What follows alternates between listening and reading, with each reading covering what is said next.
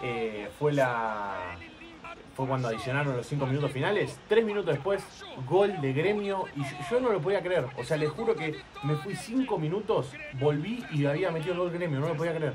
Hola, hola a todos sudamericanos, ¿cómo andan? Sean bienvenidos a un nuevo video Sudamérica, tu canal de fútbol sudamericano. Día de hoy, día de, por supuesto, clásico de Brasil. Estamos hablando de Gremio enfrentando a Internacional de Porto Alegre, uno de los clásicos que tiene el fútbol brasileño. En este caso en el torneo Gaullo, ya saben, este torneo que es previo a lo que va a ser el Brasileirao y también previo a lo que va a ser la Copa Brasil, que ya arrancó la Copa Brasil para quien quiera saberlo. Pero bueno, el torneo Gaullo siempre es bueno para ver cómo se preparan los equipos de cara a lo que es el comienzo de la temporada. En este caso, Gremio, que viene puntero de muy buena manera con la incorporación de Luchito Suárez, con grandes eh, apariciones como Felipe Carvalho, por ejemplo, eh, otro sudamericano más, otro argentino más que tenemos ahí es Cristaldo, eh, y buenos jugadores a su vez también que contribuyen a este equipo de Gremio, que tiene un gran técnico que para mí es de los mejores que tiene el fútbol brasileño, Renato Gaullo. Lejos, uno de los mejores del fútbol brasileño, no tengo duda. Eh, y por otro lado tenés Internacional de Porto Alegre, que siempre es difícil de enfrentar. Ambos equipos venían de, pasar no tan buenas actualidades y Gremio, por ejemplo, ascendió este año, el año pasado, una locura total lo que ha hecho y cómo se ha eh, reforzado de cara a lo que va a ser Brasileirao. Creo que promete mucho este equipo y por eso venimos acá con la remera de Brasil, por supuesto, la número 5 de Casemiro, que lo tengo acá atrás, pero bueno, no me voy a dar vuelta ahora mismo. Pintadita, me queda es hermosa, esta camiseta es muy linda. Así que si quieren que reaccionemos a la mayoría de los partidos de Brasileirao, los clásicos o incluso fechas importantes, rompan a like este video que con gusto lo vamos a seguir haciendo. Como también lo que puede ser una hipotética final entre gremio e internacional, porque en este caso el torneo Gabullo tiene a los cuatro primeros que clasifican a semifinales y después a una hipotética final. Así que me imagino yo que bueno, Gremio ya está primero, ya es imposible que lo alcancen, le sacó 9 puntos de diferencia al segundo que es Internacional de Porto Alegre y después eh, tiene en tercera posición a Ipiranga y en cuarta posición al Catsias, que para mí van a ser los dos clasificados a, a, lo que va a ser la semifinal, así que para que tengan en cuenta ese dato. Si les parece, vamos a ver juntos lo que fue el resumen del partido. Le voy a dar play ahora mismo, eh, video de B7M oficial, así que lo pueden ir a visitar el canal. Y vamos a reaccionar juntos a lo que fue el resumen del partido. No vamos a analizar en detalle lo que fueron las actuaciones de Luis Suárez, de Felipe Carvalho, que marcó un gol incluso, y de Cristaldo, que dio una asistencia, por ejemplo. Eh, pero sí lo vamos a hacer en el canal secundario. Así que todo aquel que quiera ver lo que fue el partidito de Luchito Suárez con su compatriota Carvalho, bueno, me lo deja en los comentarios. Y en el primer comentario fijado va a tener el video para ir a verlo. Y ahora sí vamos a disfrutar un poco lo que fue el resumen del partido. Eh, buenas apariciones igual de los sudamericanos en general. Ya saben que cuando digo sudamericanos hay un montón de brasileños también en el, en el equipo pero nosotros hacemos hincapié en jugadores que venimos cubriendo hace mucho tiempo. Pero bueno, acá una buena jugada de Luchito Suárez, Cristaldo nos llevó a empujarla, por ejemplo. Eh, no me gustó mucho el partido de gremio, voy a decir eso, lo voy a decir.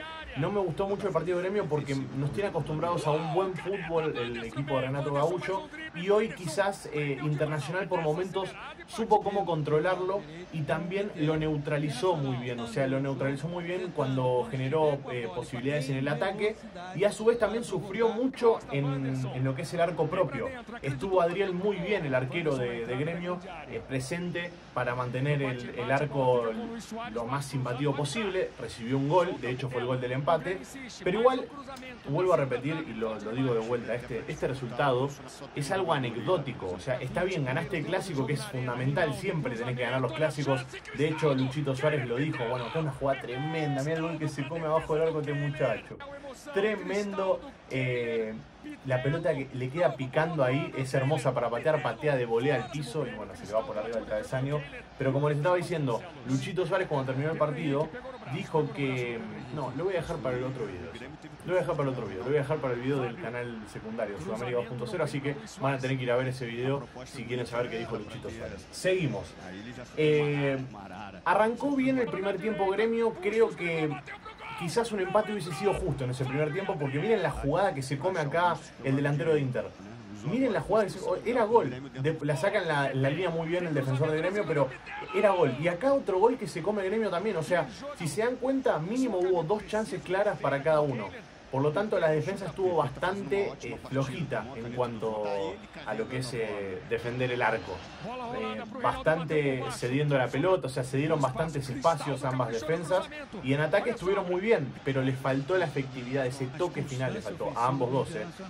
obviamente el gremio fue más efectivo y por eso se terminó llevando el partido pero, pero creo yo que Inter no, tampoco jugó mal, o sea, no, no me pareció. Acá estamos viendo el primer gol, gol de Viña, un golazo. Es un golazo de Viña, mirá dónde la pone nomás. Le pega con rosca de segundo palo de pique al piso, o sea, para que pique y se le complique la llegada al arquero. Y es un golazo. Es para mí, si no está entre los mejores goles de esta fecha del, torneo Gabullo, pegan el palo. La verdad es un golazo, es un auténtico golazo. Y mientras tanto, Adriel se seguía luciendo en, lo que fue el segundo tiempo también ya. En los primeros minutos sufrió mucho el partido Gremio, lo vuelvo a repetir.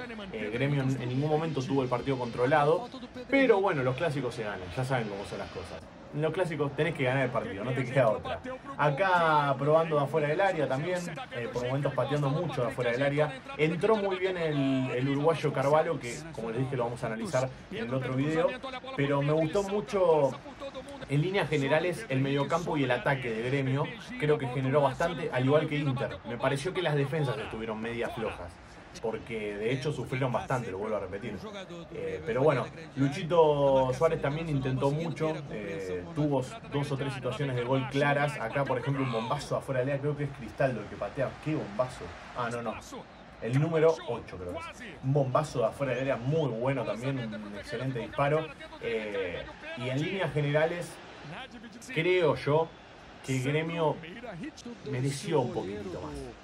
O sea, la, dominó más la pelota y, si bien es cierto lo que les dije que Inter lo neutralizó muy bien y supo cómo dañarlo en los momentos exactos. Miren acá otra vez Adriel siendo figura, sacando una pelota muy buena de pica al piso, de un cabezazo muy bueno. El número 23, acá era, esta es la de Luchito Suárez. Luchito Suárez tirando una rosca muy buena. El número 23 creo que es el central de, de Gremio, si no me estoy equivocando, que se come un gol hecho, igual está en offside, así que para que lo sepan. Acá otra gran jugada picando a la espalda de los centrales de Internacional. Eh, Inter sufrió mucho estos centros venenosos a la espalda de los centrales. Lo sufrió mucho todo el partido, al igual que Gremio también sufrió estos contragolpes quedando mal, mal parado. Gol de Alan Patrick, un golazo, Patricky y un golazo hermoso. De la única manera que podías vencer a Adriel era de esta manera, pateando de afuera del área y sacudiéndolo sin importar qué pase. Ahora, terminó 1 a 1, no, faltaba este gol. Miren, miren lo que fue este gol. Este gol es un golazo de Felipe Carvalho. Increíble, increíble. Locura total, la verdad. En el minuto 48, o sea, adicionaron 5 minutos, minuto 45 eh, fue la fue cuando adicionaron los 5 minutos finales. 3 minutos después, gol de gremio. Y yo, no lo podía creer. O sea, les juro que me fui 5 minutos, volví y había metido el gol gremio. No lo podía creer. Terrible. 2 a 1. Ganó el equipo de Renato Gaullo. Ganó el equipo para mí que juega mejor de los dos. Hoy igual de todas maneras creo que Internacional no hizo un mal papel. Me pareció digno lo que hizo hoy dentro de la cancha. Quedó en segunda posición. Eh, veremos si lo pasa o no el Ipiranga. Ipiranga va a jugar la última fecha contra Gremio y está con 17 unidades a dos puntos de Internacional que está con 19. Así que si Ipiranga le gana a Gremio e Internacional pierde su partido, lo va a pasar. Pero bueno, no sabemos. Lo importante es que hasta el momento Gremio Internacional, Ipiranga y Casias son los cuatro equipos que van a jugar las semifinales hasta el momento. Queda una fecha más. El miércoles, Copa Brasil. Por supuesto, vamos a estar en el canal secundario cubriendo lo que haga Luchito Suárez y Cristaldo y también Carvalho si tiene minutos. Pero bueno, espero que les haya gustado mucho este resumen. Si así recuerden dejar un me gusta, comentar, compartir, suscribirse al canal si son nuevos y como no nos veremos en el siguiente video. Un abrazo a todos, vamos a Brasil papá y chao chao.